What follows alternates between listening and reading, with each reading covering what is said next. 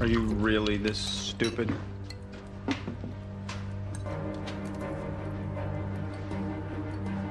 Guess so.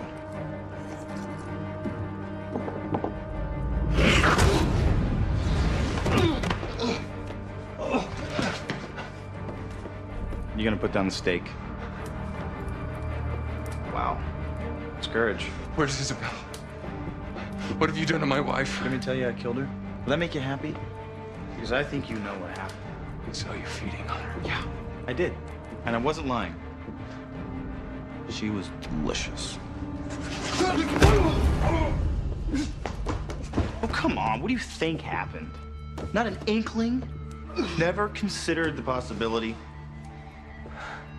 I turned her. Why? She came to me, all pathetic, looking for vampires. There's something about her. Something I liked. Something special.